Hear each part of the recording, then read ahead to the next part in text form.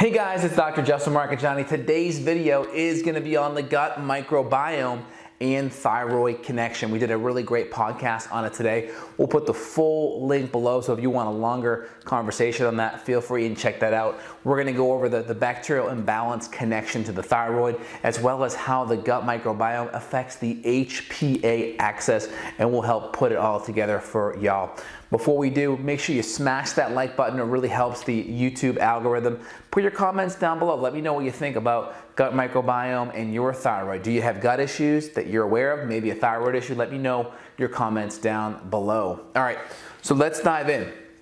We have dysbiotic bacteria and probiotics. So dysbiotic bacteria is bad bacteria. This is our not so good bacteria. And I have a couple of studies here. I'll put in the resources below. So we have our bad bacteria is the dysbiotic bacteria, and we have our probiotics, which is our good bacteria. And normally we have a, a healthy ratio. Typically you're looking at like an 80-20, right? 80-20, 80% good bacteria, 20% bad. So 80-20 is kind of the, the ratio we like. At least greater than half being beneficial bacteria. Now, what some of the research is showing, there's one study that I looked at that looked at thyroid cancer and thyroid nodules. What they found in this study is that the patients that had thyroid cancer and thyroid nodules had increased dysbiotic bacteria. In particular, they saw, I think it was the strep bacteria that was much higher. And they also saw low levels of good bacteria in these same patients. So really interesting association. One of the conclusions in that study was, hey, we need to look at potentially using probiotics using beneficial bacteria to help actually treat and prevent thyroid cancer. That was fascinating. And the reason why it is is because thyroid nodules and thyroid cancer is a strong association with autoimmunity, okay? Autoimmunity. And we know autoimmune, this is like the number one cause of thyroid issues is autoimmunity. And if they're already looking on the conventional side in the Journal of Endocrinology, they're looking at using probiotics to help support thyroid nodules and thyroid cancer, man, there's some great implications that we know there's a major, major effect. Another study I saw looked at the microbiome, the dysbiotic bacteria, and how it had a major effect on the HPA axis. And this is vital because that's the communicational feedback loop from the brain which is essentially the central nervous system, to the gut or to the thyroid or to the adrenals. And it's important because the brain essentially connecting to the gut is a whole separate nervous system known as the enteric nervous system. But it's quite fascinating because when we look at the HPA axis, we have this feedback loop here from the brain. So here's our brain right here, okay? And then we have the feedback loop from the brain going to the thyroid This is our thyroid. And then we have it going from here down to the adrenals. And then we also, let's just say we have the gut here as well. And the gut's interesting because the gut is its own nervous system unto itself. This is the enteric nervous system.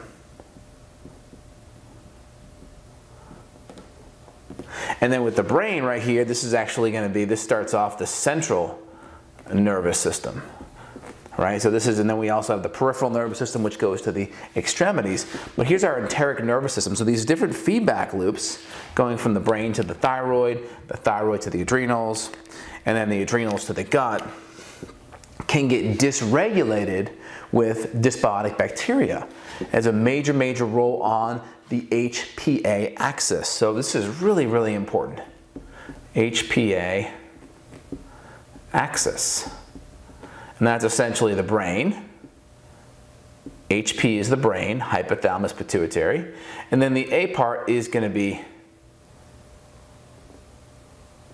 the adrenals. So this could be HPA, HPT, HPG. It just depends on the feedback loop we're talking about. So you can sub HP for the thermostat to your um, heater, the thermostat to the um, air conditioner. And when we have dysregulation, we don't have correct feedback going back to the brain or back to the adrenals or back from the thyroid to the brain and we have dysregulation because we need to have you know really good input and output so with there's great communication. When there's dysregulated communication the glands are not going to function appropriately. And we know dysbiotic bacteria can have a major effect on this communicational feedback loop all right? And we also know that dysbiotic bacteria can increase gut permeability as well which can increase autoimmunity. The more autoimmunity there is, the more stress back to the HPA axis. It's, it's, a, it's really a, a vicious cycle.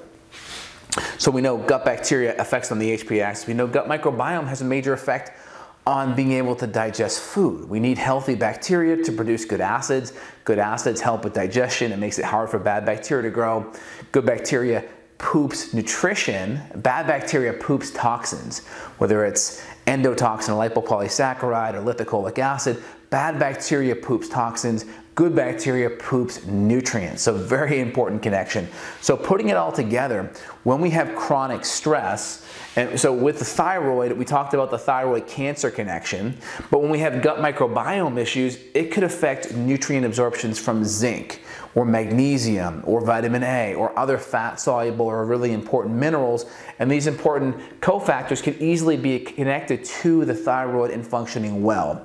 And obviously the more stress we have and the more dysregulation we have of the HPA axis or the HPT axis, the more cortisol and the more stress dysregulation we have. And we know cortisol and healthy HPA or HPA-T um, connection or activity is vital for T4 to T3 conversion, right? Too much cortisol can have a negative implication, right? That can really thwart that conversion. So very important there. So putting it all together, we want to look at healthy adrenal function. Too, too high or too low on the cortisol side can have implications. Dysregulated cortisol rhythm can tell us that there's cortisol um, rhythm issues, which means there's HPA axis issues. So normally our cortisol rhythm is like this.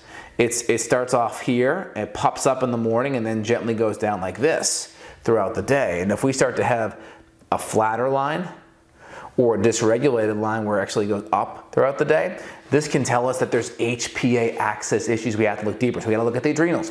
We'll look at thyroid conversion. We'll also look at thyroid antibodies. We'll look at gut function. We'll look at the gut bacterial balance. We'll make sure there's no other underlying infections. We'll also look at potentially a SIBO breath test to see how the gases are doing in the gut if needed, and also just making sure other parasites and fungal overgrowth and H. pylori aren't present either. And of course, making sure we have all of the foundational things like a good diet and being able to digest and break down our nutrition adequately as well is vitally important. So it's a complicated puzzle, but if you break it down, it's a little bit easier to chew. This is Dr. J signing off here. If you're enjoying this content, hit that thumbs up button, give me a subscribe, let me know your feedback below. If you want to dive in deeper yourself and get more intel on how this can be utilized and incorporated to help you get better, feel free and click below and schedule a consult with my colleagues and or myself. I look forward to helping y'all out. You guys have a phenomenal day. Take care.